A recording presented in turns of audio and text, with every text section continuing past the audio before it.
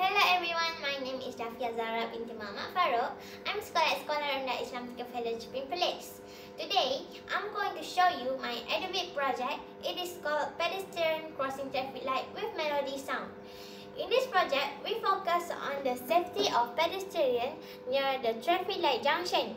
When the traffic light bit turns green, the RGB bit will turn red light and the servo motor fans will close to warn pedestrians not to cross the road.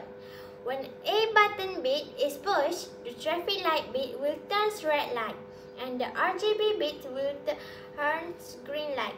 Then the music bit emit melody sound and the servo motor fans will open so that the the blind person know it is safe to cross uh, the road because they can hear the sound. Okay, let me show you how it is work. First, you just need to click at uh, A button B. When it make a sound, the blind person can know that RGB bit is green light.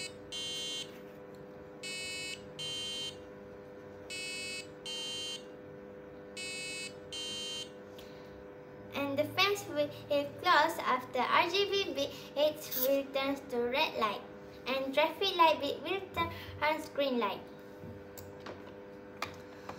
Okay, this is my micro bit coding.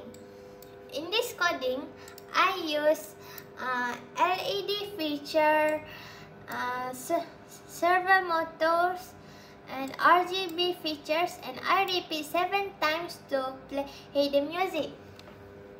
So this is for today. Thank you for watching.